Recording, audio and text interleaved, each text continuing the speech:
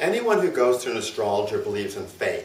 Otherwise, they wouldn't be there. They think there's this predestined course of existence awaiting them for good and ill. And people come to an astrologer with the hope that good fate is just right around the corner. However, just as likely, bad fate is just around the corner. Because the one thing we truly know about fate is it goes up and it goes down. You have the good days and the bad days and everything in your life. Sure, some people have more extremely good days and their downs aren't as bad, and some people have extremely bad days and their goods aren't as high. But it's always going to be going up and down. There is no stability to fate. It's always going to be up and down.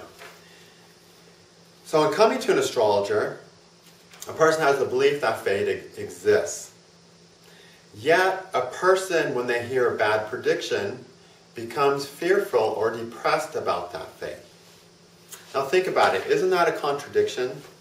To believe in fate, believe that there's this plan for one's life, and then upon hearing that plan to become depressed or fearful of that plan. Does that make sense? Well, that's kind of like an actor, like say Angelina Jolie, who gets her script and says, oh, this is my movie. Oh no, in Act 4, Scene 3, my husband gets shot and goes into depression. Right? Instead of saying, oh, in Act 4, Scene 5, my husband gets shot, and I'm going to make do the best I can in that situation. I'm going to play that role as perfectly as possible. That's how an actor does it, right? Well, that's how we're meant to do it, too. If there is a divine plan with its tragedies and its boons, then it's our job to live that divine plan, right? Okay, so if you believe in faith, you should also learn to believe in living that faith and not having a fear of that fate. Why? Because every step in life that you take is not an ending. It's just one step leading to the next step. So, in Act 5, Scene 3, Angelina Jolie's husband in the movie gets killed. Okay? Well, in Act 7, she meets a hot super spy who helps her avenge her husband, who she then falls in love with and is happier than ever. Okay? Same in life. Bad things happen, but they're the stepping stones that get us to the next part of our life. And eventually, the stepping stone will be a good one. And then that good stepping stone might lead to another good stepping stone. And that good stepping stone leads us to a bad stepping stone. Okay, so maybe Angelina Jolie finds this new boyfriend, falls in love at the end of the movie, then they make part two of the movie. And in part two of the movie, the boyfriend's gone. Why? Well, because after six months of dating, they hated each other and just had fights and broke up. So the nice stepping stone led to another tragedy. And that's how life is. It's a series of steps, uh, enjoyable steps, painful steps. And all those steps are taking us to one critical place in life, and that is our death. Okay? And God, when He creates this world, He doesn't sign a contract with you to say, okay, I'm going to give you all the best things in your life.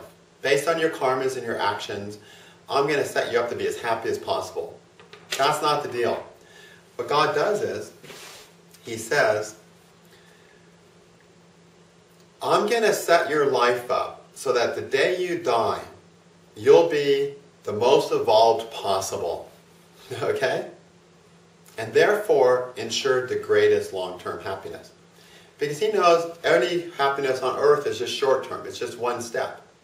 One step into love, one step into fighting, one step into not fighting, one step into seeing your spouse get a disease. It's never going to be a permanent happiness.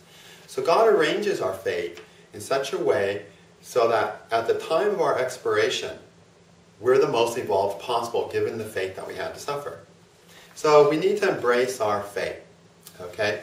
And that requires a spirit of sacrifice, which is the sun. Where's my sun here? The sun. The sun is a spirit of sacrifice. It's the sacrifices we make in life in order to evolve and grow to spirit. That's why the sun is a cruel planet or a malefic, because he will hurt things, because some things need to be sacrificed. So we need to live our life with a spiritual sacrifice, understand that the only thing that's eternal is the sun or the soul. The sun is the soul. And that the culmination of life is how much in touch we are with that soul nature, which is reflected in how much we are in touch with God and everything that surrounds us. And that's the purpose of life. That's the sun. That's the center of every person's universe. And so by staying attached to that center, we can have happiness in all of our situations. By being detached from that center and attached to other things, we'll be suffering up and downs, meaning we'll have great ups, but they'll always be followed by downs. It's just the nature of life.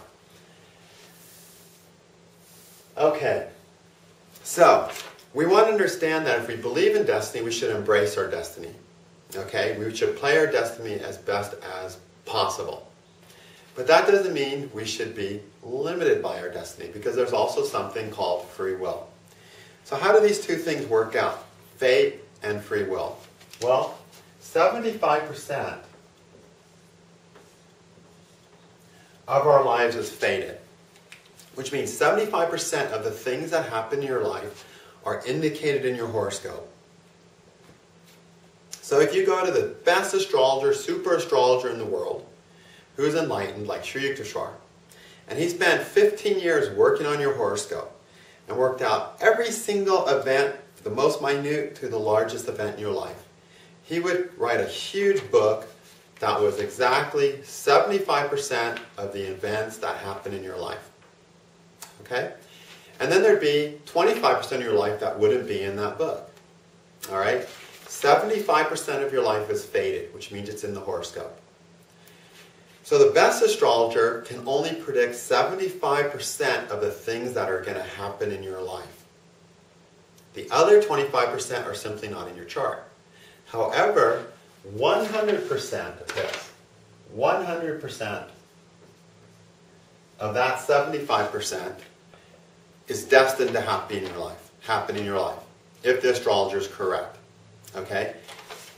If he's incorrect, it doesn't mean necessarily that the 25% changed that. It means he made a mistake and didn't predict 100% of your life correct.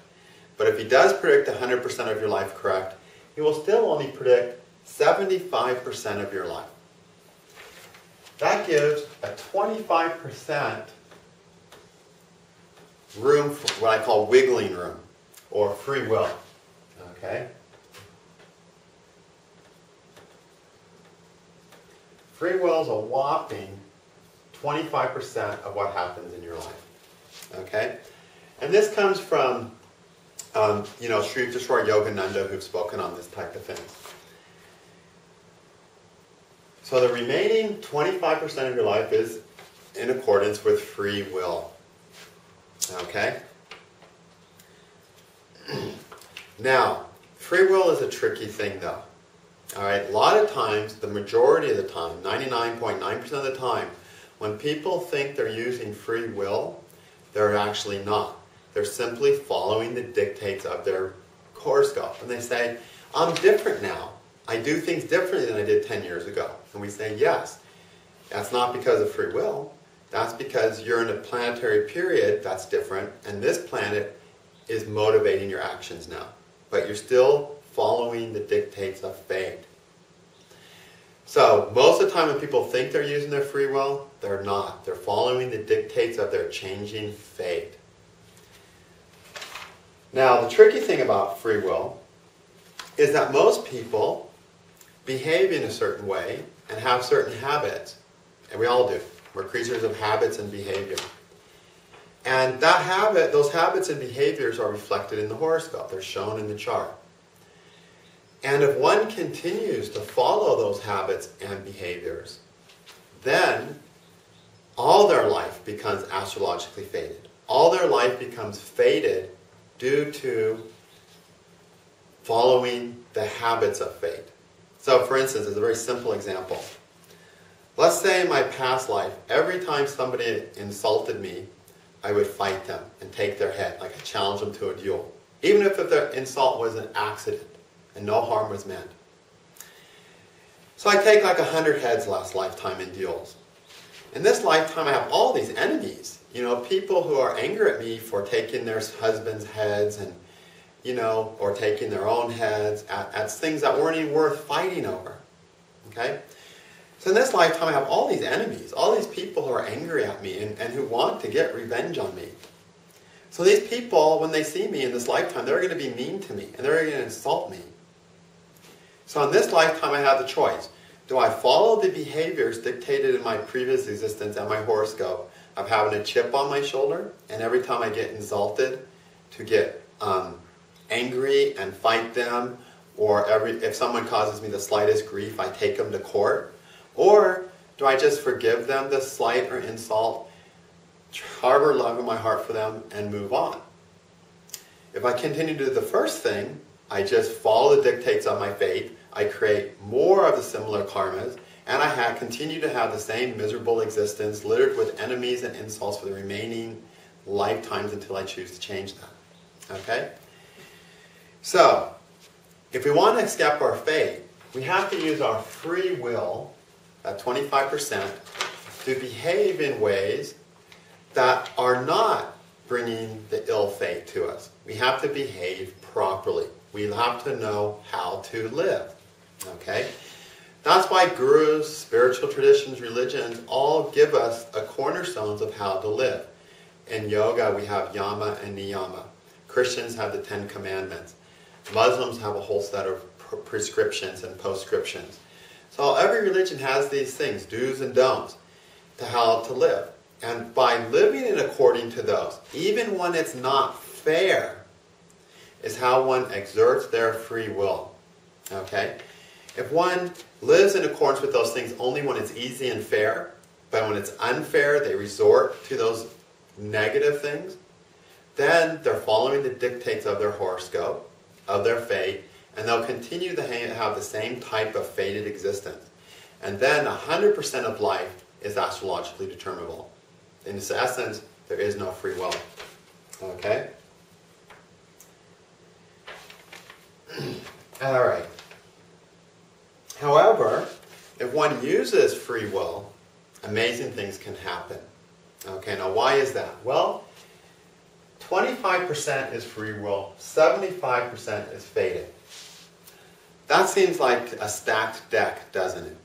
But there's a divine rule that says if for whatever effort you make in self improvement or in betterment or to do the right thing, God will pay you back three times as much. So, if you do one thing, God is going to do three things to help you. If you do one thing to make yourself better, God will take care of three things to make you better. And that equals four things. So, if we do 25% of free will, God will do three times 25%, which is 75% of improvement force. So with 25% of free will, one has the power to change all their fate. Now that's the kind of math I like. Okay? But we know it's not that easy, is it? Why isn't it that easy? Well, the reason it's not that easy because you have to use 100% of your free will. 100% of the time. And then God will do take care of this 75% 100% of the time.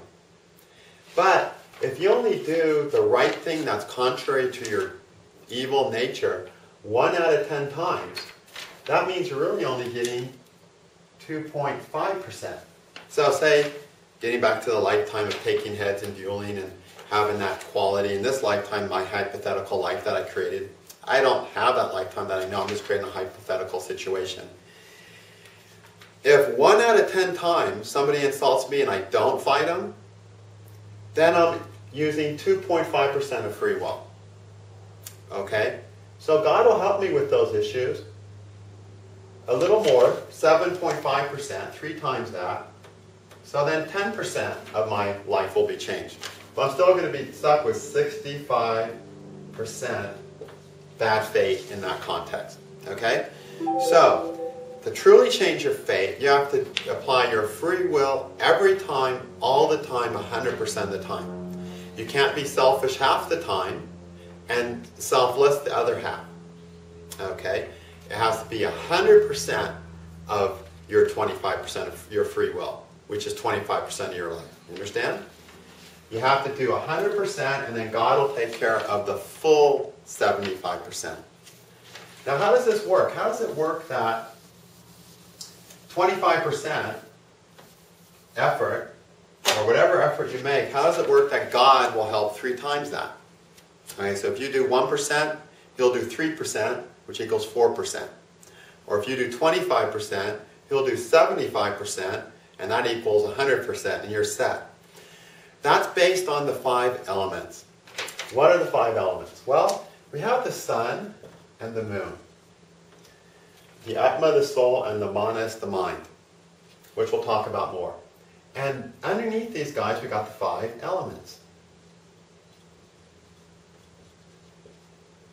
The easiest way to understand the five elements is through the senses. Each element gives us a sense. Fire is our sight.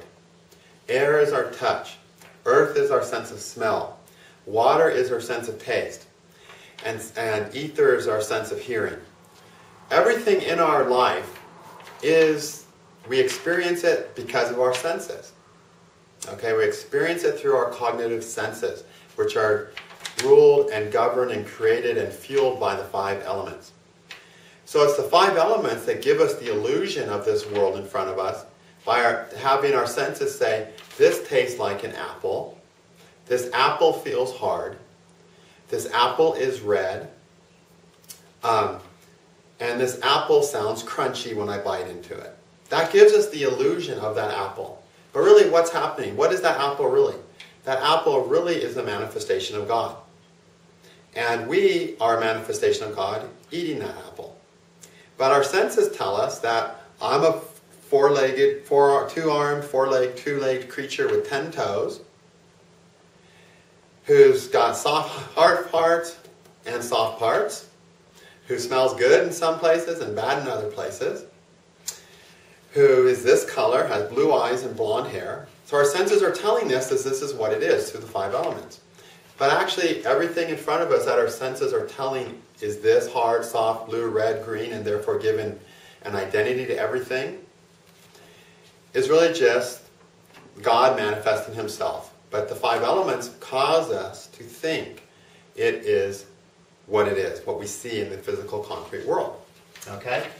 So everything is created through the five elements. Everything that is is an admixture of the five elements which gives us an admixture of sensory perceptions, which cause us to believe that thing is a certain thing that truly it's not. Because in fact, it's really just another manifestation of God. Okay? So all those five elements represent all of our existence. And the five elements work together. Like ether, out of ether comes air, and out of air comes fire, and out of fire comes water, and out of water comes earth. There's all these cycles. There's actually three ways the five elements work together. All right? Three ways that they work together. So if you twang or improve or fine tune one element, that embedded element, and all elements represent behaviors and needs and so on, that embedded element will influence three other elements. And so you get four things going for every one thing you fix. It's the same law.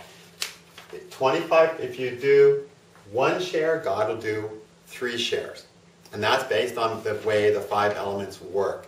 If you want to understand that more, in my Graha Sutras book, I have a huge chapter. It's the biggest chapter in that book on the five elements, which are a cornerstone of astrology, astrology and of philosophy as well. So that's how it works. It's the divine law based upon the nature of which the five elements create the world. So, how does that work? Well, Venus is diplomacy, and it's also one of the elemental planets. Mars is your enemies. Okay? Well, if I'm diplomatic, that's going to help. Or if I'm graceful, which, you know, quality of Venus, which diplomacy comes from, that'll help me with my enemies, right? And now my enemies are better. Okay?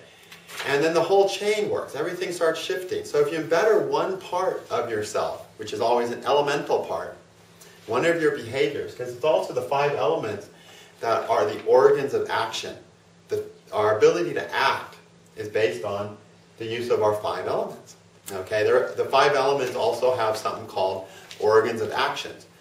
Movement, creating sound are two of the organs of action. How much of our life is important upon the sounds we make, meaning the words that come out of our mouth? a huge part. If I improve my sound, the way I speak to people, it'll improve everything in my life, right? If I improve how I move, that will help everything in my life. If I punch people, that won't be good. If I give my arm to old ladies as they cross the street and I move that way, I move in a way that will acquire merit. If I move in a way that helps people and I give people back rubs when they have bad backs and things like that, I'll acquire more merit, right? So every action we take is we take through the organs of actions of the five elements. So our behaviors are also indicative by the five elements. So changing one behavior, which is an element, helps three other elements. And, and so one action leads to fourfold results. And so if we do 100% of one action, that's 25% of free will applied to that one thing, we get 100% results. God will match us three parts to one. And honestly, that's the best deal going in the universe. Where else can you go and say, I'll give you 25 cents and you'll give me a dollar? That's what essentially is happening. Guys who do invest in stocks, they'll put down 25 cents and they're happy if they get 30 cents back. Then they had a good day, all right? Because when they, when they put in a million and they get a million 50, and 50,000, they just made 50,000. That's a lot to make in one day. But God's even better than that. His plan of returns is better. You do one thing and he gives you three times that much. So you give him 25 cents, he gives you a dollar. You give him a million dollars, you get four million dollars in back. So whatever effort you make, he gives you the best returns out of any possibility on earth, okay? Even in the best relationship, if you give Ben a dollar, you might get a dollar and ten back in the best relationship, right? Lots of times you put a dollar into a relationship and you get 80 cents back, right? God, you give him a dollar, you're going to get four bucks back, okay? Because of how these five elements work.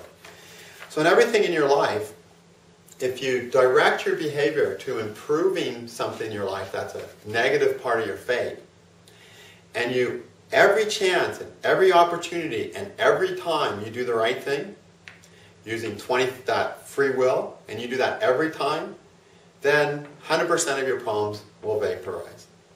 Okay? Does everyone understand that? That's pretty cool. Now, to really utilize all this, though, utilize this, we have to understand what is will. Okay? We have the five elements, which are our behaviors, the energy that causes us to have the strength to act, our organs of actions, and the sensory perceptions that describe for us all the things in our lives and fulfill our life with the countless things and people in it.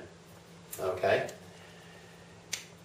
Then we have the sun and the moon. These are the planets of will. Okay? Those are the planets of will.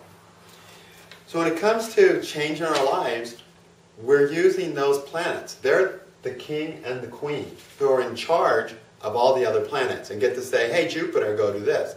Hey, Venus, go do this. All the other planets are there to serve the king and queen, essentially, which means to serve your will. All right? The sun is God's will. Okay, sun is the Atma, it's the soul, the soul of the entire universe. It's God's will in your life. Okay, figure that. That's pretty heavy, right? The moon is ego will. Okay, sun is Atma, the soul, where God's will resides. The moon is Manas, the mind. And the mind means the, the thing that takes in all perceptions and analyzes and cognizes and feels and interprets. You know, the very essence of our being is the moon, the manas, the mind. Okay? It's not the mental mind so much as the mind within oneself that's found in the heart.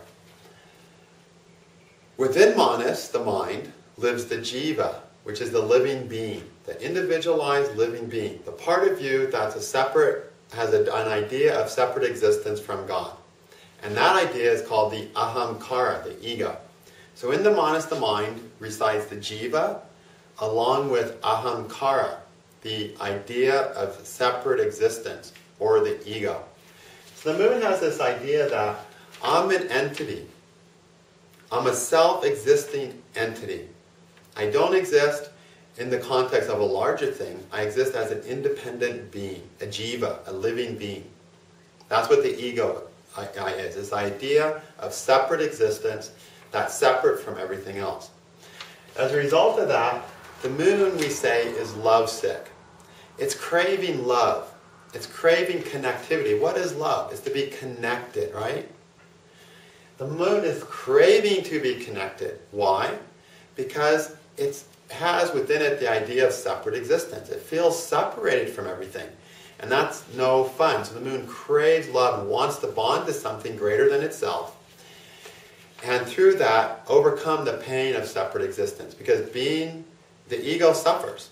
It will always suffer. It'll never stop suffering because it is the idea of separate existence. And as long as there's separation between our consciousness and God's consciousness, there is pain and need that will not be fulfilled, that only be temporarily fulfilled in an unsatisfactory way, right?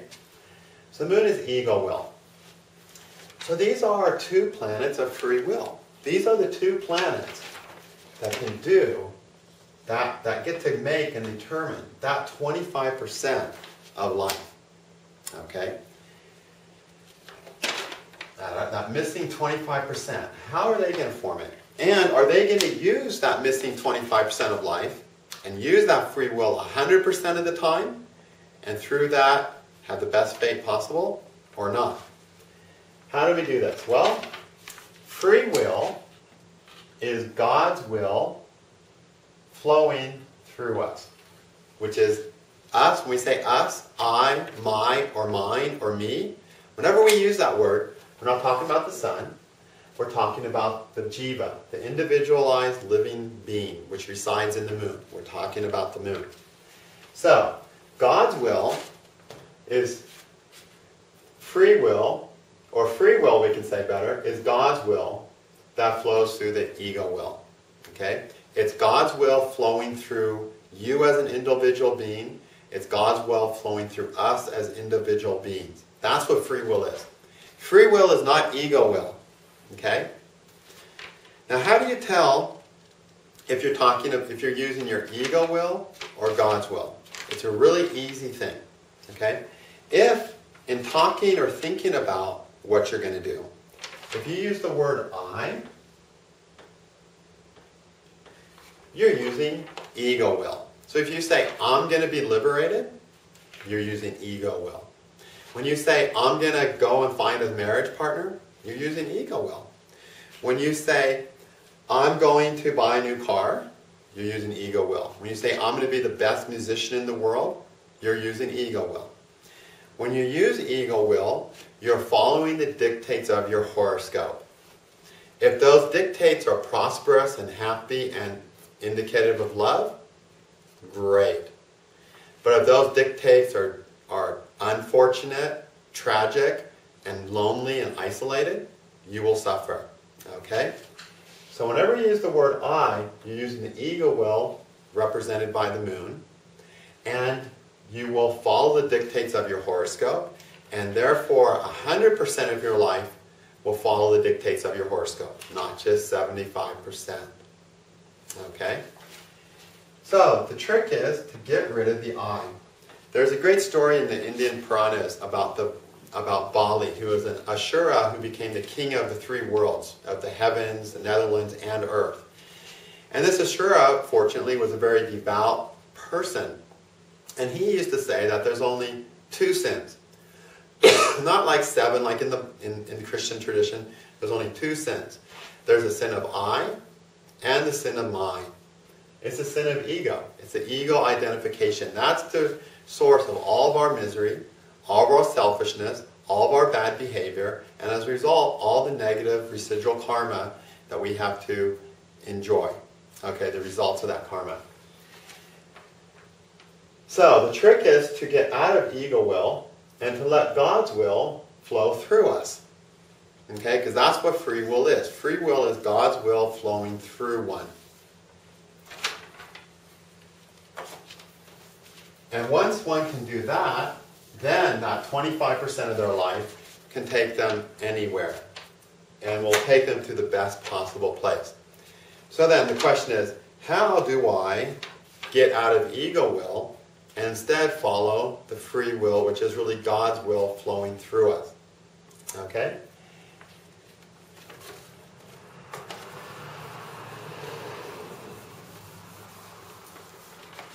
To do that, you have to use the power of the ego, which is the moon. Okay? The power of the, oops, I think it's tense history.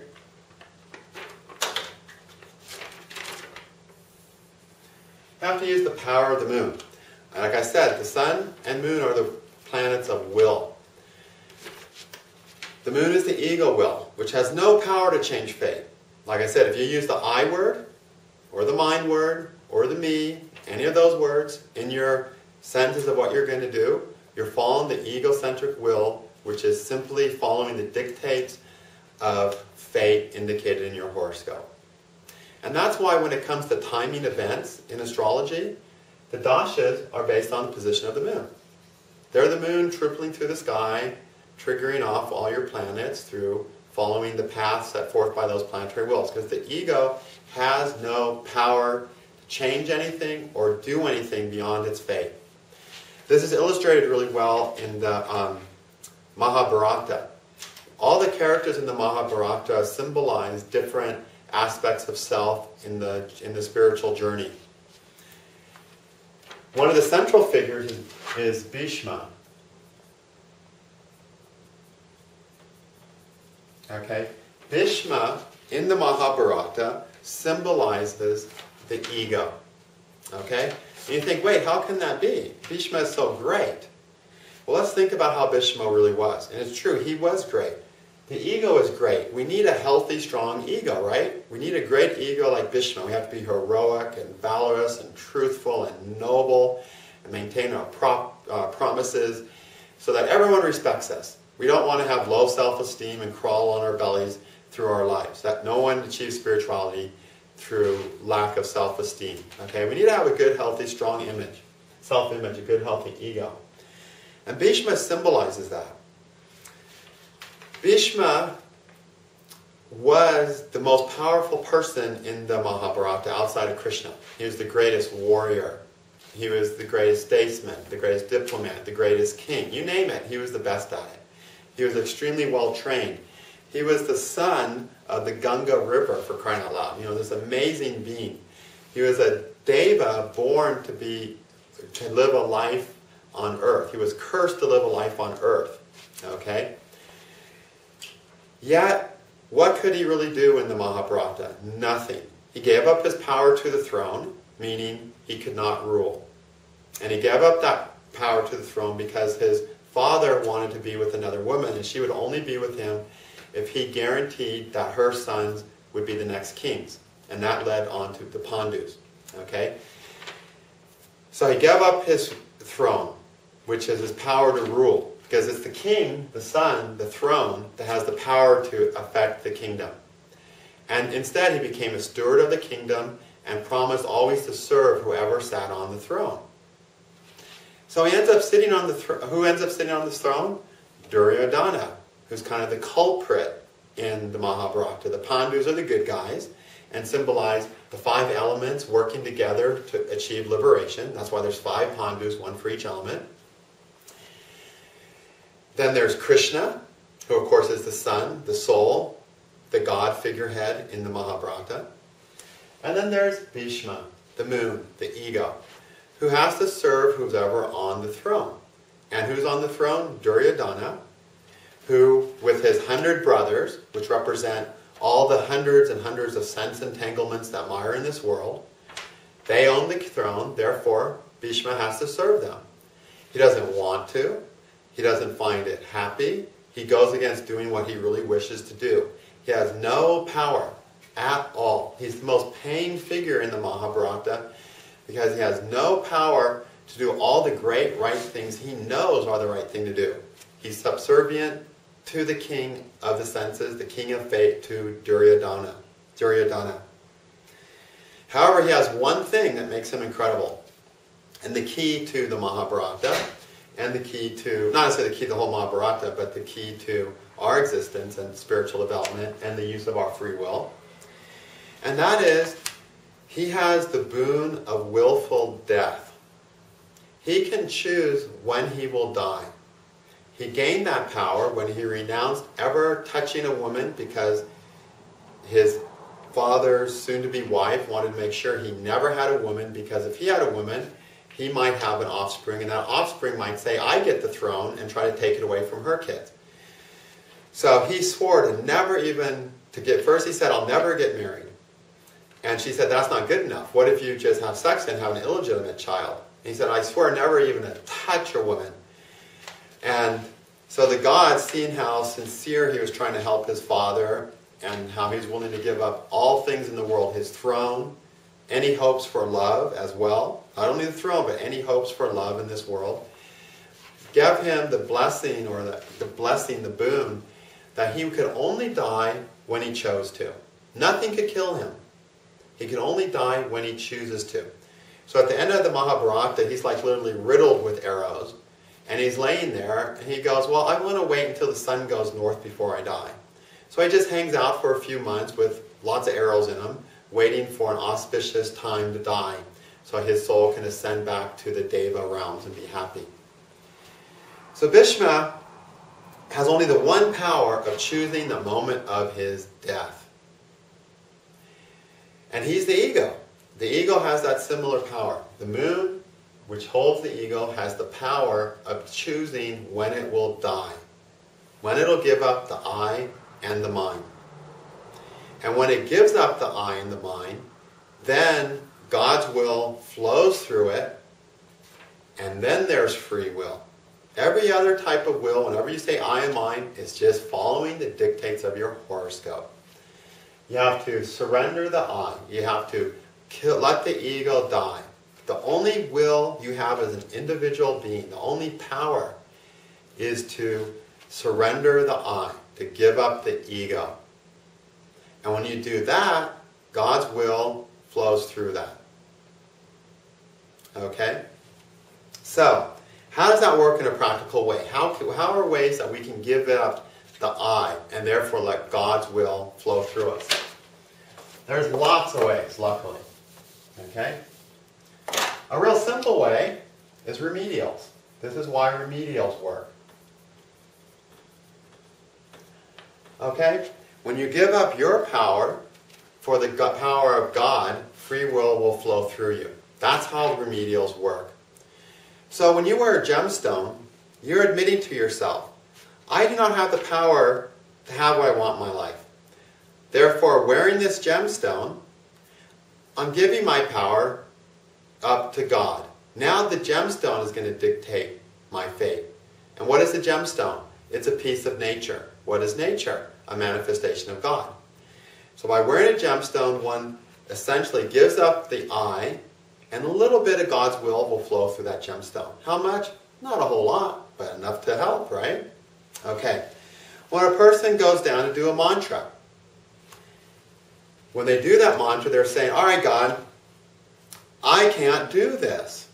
So I'm asking you to take care of the situation. I'm asking you to take care of things because I can't.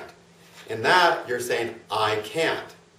The minute you say, I can't, and you appeal to God, whether through nature as a gemstone, through sound as a mantra, whatever method you want to do, through kindness by giving charity, then God's will can flow through you and your life will get better. So for instance, if you're having financial troubles, the best thing to do is to give away 10% of all the money you get. That sounds crazy. Wait a minute. I'm broke. I'm not making enough money. I can't feed my kids. So to fix that problem, I'm going to give 10% of everything I make to some charity. Okay? And you give that 10% away and you get more money. Why is that? Because in giving away that 10% to some charity, you're saying, God, I can't take care of myself. Here I am broke. Since I, and I'm proven I can't take care of myself, that only you can take care of me by giving away 10%. So the only way I'm going to be taken care of is if you miraculously take care of me. Because I can't do it. And I'm proving that by giving away the little that I have and tossing it, giving it to some charity. And in doing that, one gives away my power to survive. So instead of saying, geez, I have to make all my money, I have to keep it all, I have to collect it all, I have to count every dollar, instead I'm saying, I'm not responsible for my money, God is. I'm going to prove it by giving my money away. And then more money comes. Okay? It works every time. The best thing you can do for poverty, for financial trouble, is to give away 10%. I remember once I was in LA. I was so broke that month I didn't eat for three weeks. Okay? Most of what I ate the rest of that month was wild herbs and we, you know, weeds, you know, edible herbs and things that grow on the side of the road. I was literally getting my lunch on the side of Sunset, uh, Sunset um, Drive or Sunset Drive in the Pacific Palisades, riding my bike between the temple and my house. I still had a roof over my head. I wasn't homeless. I had a little apartment that was killing me at 450 a month. And by little, I mean a 10 by 12 foot room.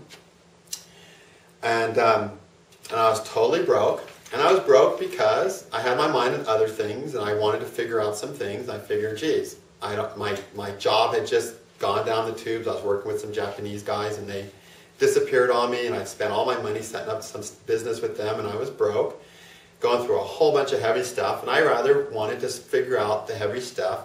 So I wasn't really into getting a job and so I just kind of fasted.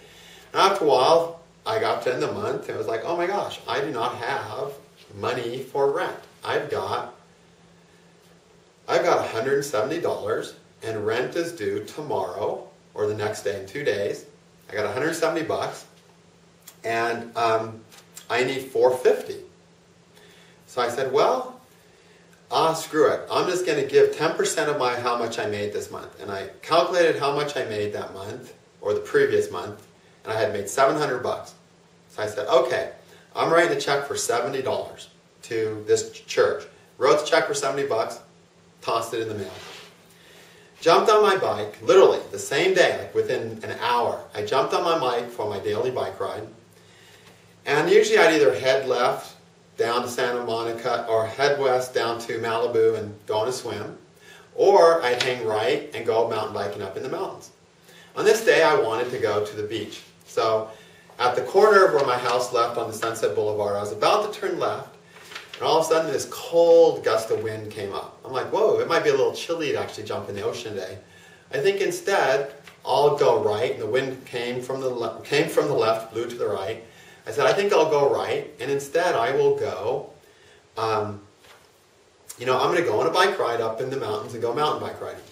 So I go mountain biking, and once I'm up there, I, I meet some guys at a gate, and so I kind of hold the gate open for them, or they hold the gate up for me, and we start talking a bit. And I had this really cool high-tech fork on my bike that nobody even knew existed yet that I was getting set to send to Japan when all that Japanese stuff fell out. And he commented on my fork, and he had a tandem bike, a two-person bike, and he wanted a, a this really unique kind of fork, and this was the only one strong enough to work on a tandem. He'd never seen. It. I said, "Yeah, this is strong enough to use on a tandem." And I'm like, "If you want it, I can sell it to you." And he's like, "Well, how much?" I'm like, "Well, 350 bucks. That's the wholesale on these. This is a $600 fork. I'll sell it to you for 350. so he was happy about that, and um, so I said, okay, I'll come over tomorrow and I'll put it on your bike for 350. So you, you get doing the math. I had 170. I gave 70 bucks to the church, which was 10% of what I made the previous month. I just sold my fork for 350.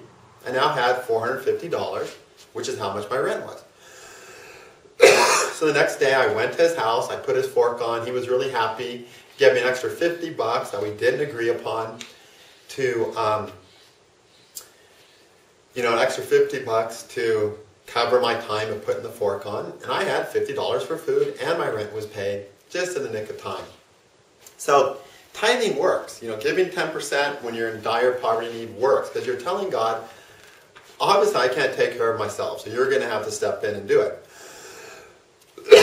you're surrendering that I. All remedials, prayer, um, mantras, charity, wearing gemstones, are all saying, I do not have the power, admitting to oneself that I do not have the power.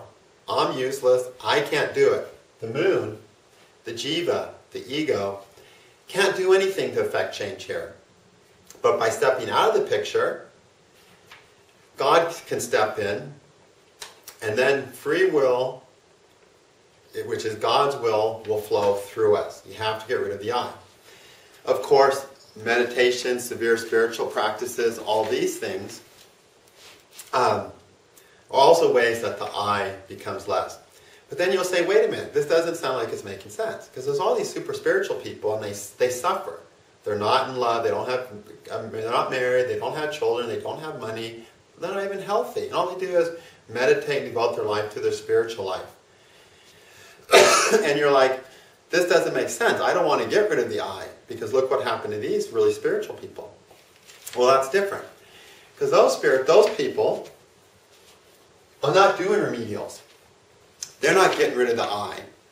They're trying to embrace God. And through that, the I dissolves itself. But they're not getting the I out of the picture so that God's will can flow through them. They're uniting with God's will. And that's their only goal. And when one is in the state of evolution where it's time for them to begin uniting with God, to become one with God through meditation and through spiritual experiences, at that point, there's no need to change anything in the world. Why? Because changing something in the world is just trading one illusion for another. It's saying, I don't like God in the form of my puppy. Instead, I want God in the form of this big, beautiful supermodel. You know, it's like stupid. You're changing the illusion of a puppy for an illusion of a supermodel. So say you're this lonely person, the only love in your life is your puppy, but you really want Angelina Jolie. It's just changing one illusion for another, right? The puppy is a manifestation of God. Angelina Jolie is a manifestation of God. Your crippled, sick, and decrepit wife is a manifestation of God. So what's the difference? What's the, there's no difference between a healthy wife and a sick wife. There's no difference between health and disease. It's all manifestations of God at that level. And people who are truly aspiring to God connection, for that full spiritual realization of oneness with God, it's not worth their time to change anything or care about anything in the world. Because they understand that whether it hurts, whether the thing brings me pleasure or whether it brings me pain, the thing in front of me is God. Therefore, whatever it is, it is. I don't care. And so they truly embrace their fate. And they let the fate work itself out on its body, but they don't suffer from their fate because whatever the fate is, whatever form it comes in, it comes as a manifestation of God. And the truly spiritual people see it as a manifestation of God. They don't say, okay, this cancer which has eaten me and causing me pain is a manifestation of God, and therefore it doesn't matter. Or this fire which is burning my house and I'm stuck in my attic and which is going to burn me is a manifestation of God, so it's okay. They're not trying to convince themselves of that fact. They see it as a manifestation of God. It's like some of those, um, Alexander the Great traveled with the yogi. When it was the yogi's time to die, he walked into a fire. And he just sat there smiling while the fire burnt him. Okay? The fire was just a manifestation of God. It was the manifestation of God that was freeing his consciousness from his body. But because he truly saw it as a manifestation of God, the fire caused him no pain. Okay? So the reason people who are truly spiritual don't have these great material lives and aren't in love and all this junk, because it makes no difference to them. Okay? They're connecting with God. That's the only thing important to them. They see everything in their life as an aspect of God. So what's the difference? Why change anything if everything's an aspect of God? And that's really the, truly the best way to look at life. Because then you have happiness always. As long as you want happiness from certain things and disdain other things, you're going to suffer. Okay? but even while you're doing those things, you can improve upon your fate by getting rid of the I, by giving the ego, letting go of the ego power, and letting God's will flow through us. And that has to be done carefully. You don't tell God what to do, okay? Because that's thinking that you can bully God. I'm going to go bully God. God. It's a story about, a good story that illustrates that as a guy who needed a car. So I said, I want a Volkswagen. So he went to God and he goes, I need a Volkswagen. Give me a Volkswagen, God. Please, please, please. I need a Volkswagen. So God said, Here's your Volkswagen. Give him a Volkswagen. And said, I was going to give you a Mercedes. Okay? That's a bad deal. He could have had a Mercedes. If he just sat there and said, I can't manage my life right now, you know, I, I can't get to work, I can't feed my kids, I have no power in this world. Then God says, okay, now that you've admitted that and your ego's out of the way, I can step in and give you a Mercedes. Okay? At a great deal. That's never going to break down. But you decide I want a Volkswagen, I get a, want a Volkswagen, give me a Volkswagen, God. God might give you a Volkswagen, but in six months it might break down. So, it's the ego has no power. That's the key to understand about changing your fate. Only God has that power. By letting go of the ego, getting the ego out of the picture, which is realization that we have no control over our fate or our life, that's when God can step in. And we have to demonstrate that though. But we demonstrate it by giving charity. We demonstrate it by wearing a gem. We demonstrate it by um, we demonstrate it by um, doing mantras, by praying. And in all those ways, we're demonstrating that I'm getting rid of my ego, and then God steps in because we let Him. Now, there's another part of free will. That's the remedial part. The other part of free will is self effort. This is the part of free will that therapists and psychologists and neurolingual programmers and healers, all those people like. That of self effort. Now, when you think of I, which is the sin of the ego, you go I. Right now, think of I. Okay, I am 6'2", blue eyes, hair down to here, wearing a black shirt, with, okay, for one of the first time, not too much pain in my body. A little bit here. Okay, this is the I I'm, I see now. This is I. And this I, this ego, is a concrete thing. This is how we see ourselves. And the I likes to keep seeing itself the way it is and always will be. And that's why the I, which is the moon, represents the conditioned consciousness. It's the, the moon is the conditioned consciousness. I know you can't read this, because I horrible writing. And I'm not going to use my free will to improve it right now. So, the I is the conditioned consciousness. It's what we're comfortable with. It's what we're used to, and it's what we see ourselves as, and it's what we see our life as. And that's a concrete thing. It's conditioned. It's used to being that way, and it wants to stay that way. That's why people get habits and behaviors that they stick with throughout their lives, even though they don't serve them well. Okay? Self effort is re um, conditioning the I or reconditioning the conditioned consciousness, which means it's using the strength of our will to kill the I that we're not happy with. And then an I that we're more happy with develops. Okay, that's the second use of the moon's will, killing the ego. So, I'm a grumpy old bastard who is impatient with everybody. That's me, that's the I. And as a result, I have no friends. I'm a hypothetical person here. I have no friends and no chance at love. Because who wants to fall in love with a grumpy person, right? So, that's the I. That's the conditioned consciousness that the person's comfortable with and which they're going to put, the face they're going to put on wherever they are. But then they'll say, I don't like that I. I don't want to be grumpy. That's my ego. My ego is a grumpy old bastard. So I'm going to recondition that ego, and I'm going to recondition it by being nice every time I have the chance to be nice. And I'm going to take my time to spend the proper time with everybody I meet. I'm going to make myself do that. And then the behavior changes, and then that I, the grumpy I, is dying. Because the only power the ego has is to kill the I. And the other way it kills is by self-effort. Killing that I and allowing a new I, a new ego to develop. And then killing that I and letting a new ego develop.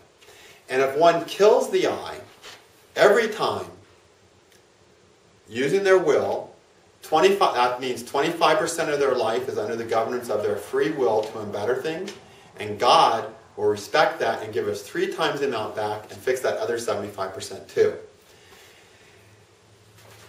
That goes in line, that's a really critical thing for dealing with your fate because most of what is fate, 99% of the things that happen in your life as fate, as things in your horoscope, are a result of your behavior. Are you lonely?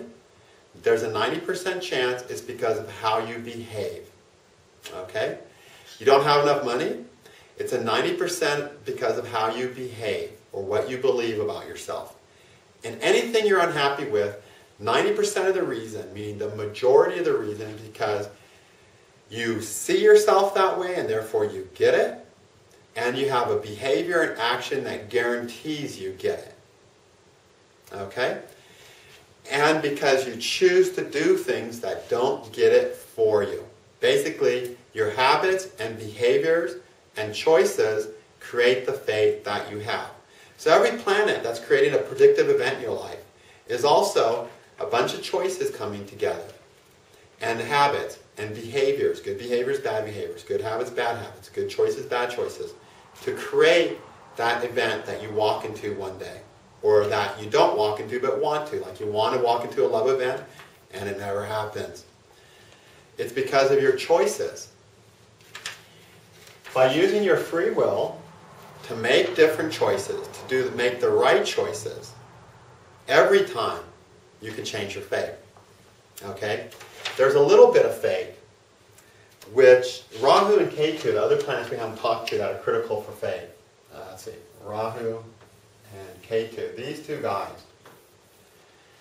they're the fatalistic planets, meaning these planets represent fated events, the power of which is so focused and so intense, there's no escaping them. There just isn't any escaping those events. Those events are the result of an alignment of all your conscious forces, all your actions and behaviors, essentially all the five elements, plus your need to grow as an individual and your need to grow spiritually, coming together to life-changing times that are required for you to burn the most intense karmas and proceed spiritually, and which are required for you to grow spiritually in all other ways as well. You cannot escape them. Those are truly fatalistic things. But the rest of the planets, the fate of all those other planets represent, are all mutable in accordance with your behavior. So if you come to me for a prediction, I say you're, it's not looking like you're going to get married ever because Venus is influenced by the moon and Saturn's with Venus too.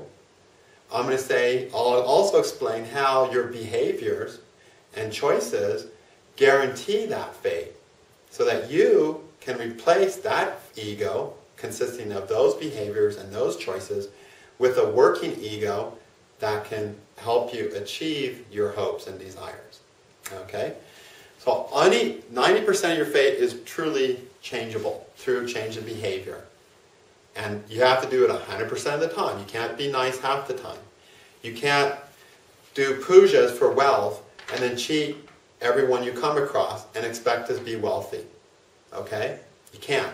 If you've got financial trouble in your chart, if you want to completely cure your financial trouble, you have to be honorable with finances 100% of the time. Use all your free will for that 25%, and then your finances totally turn around. You can't do pujas and cheat people. Because that's not 100% of good free will, right? That's only a little bit of good free will. All right, so self-effort is a critical part. And a good astrologer will also help you apply self-effort towards your goals, rather than just leaving you with a dire prediction.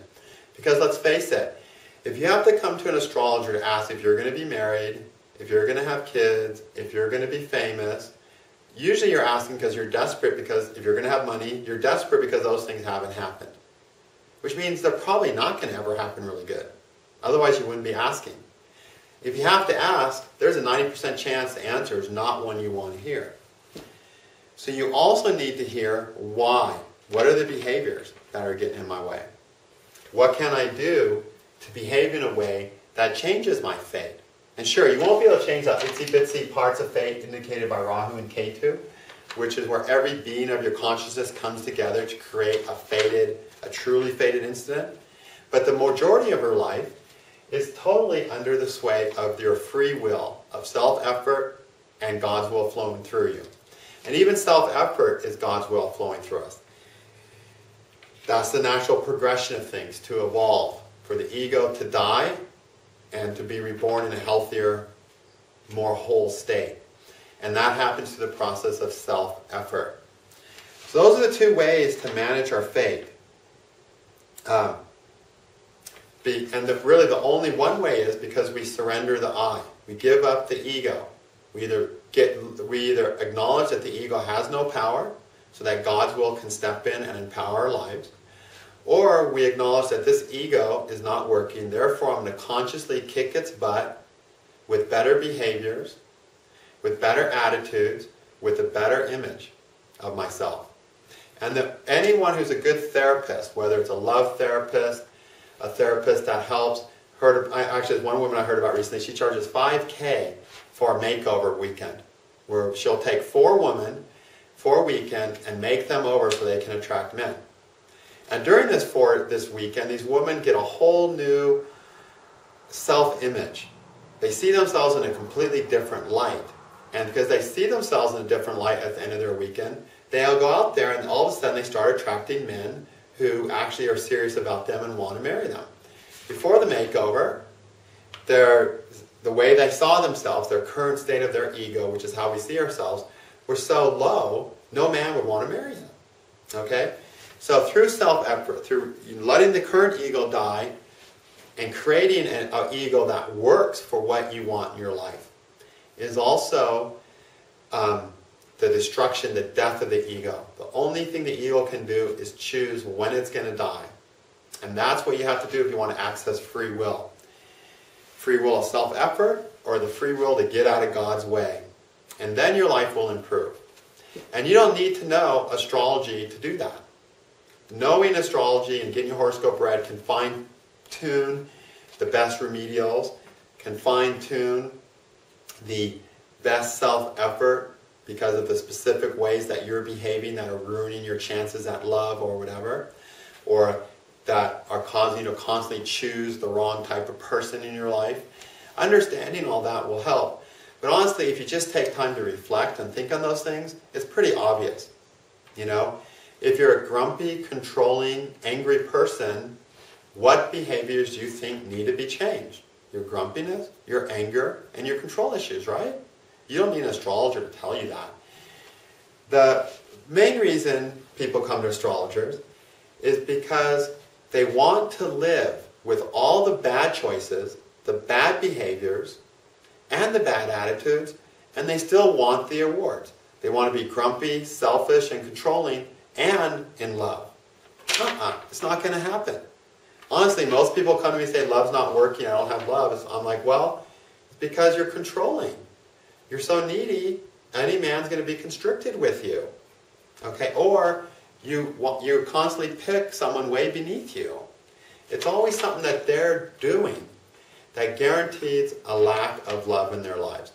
You cannot do certain actions you cannot fall in love with a useless being and expect to get loved by him.